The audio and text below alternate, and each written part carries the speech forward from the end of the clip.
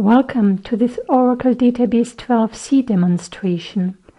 My name is Maria Billings. I work for Oracle Server Technologies curriculum. In this demo, I show you how to restore table space with a password encrypted RMAN backup. This backup was created in a previous demo and uses the same technology stack.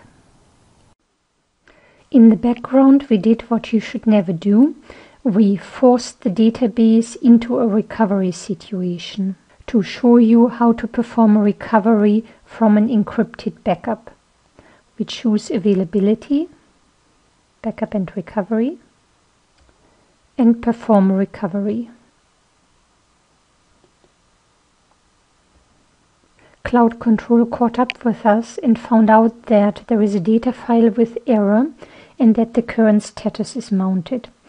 So since we know that we are trying to perform a recovery of a table space, we choose this. And we also choose the crypt backups.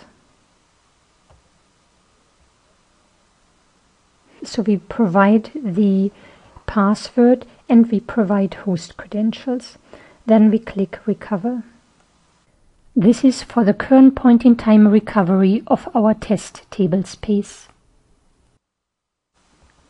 This is the table space that we want to recover. We want to restore it to the default location, our job, and we submit.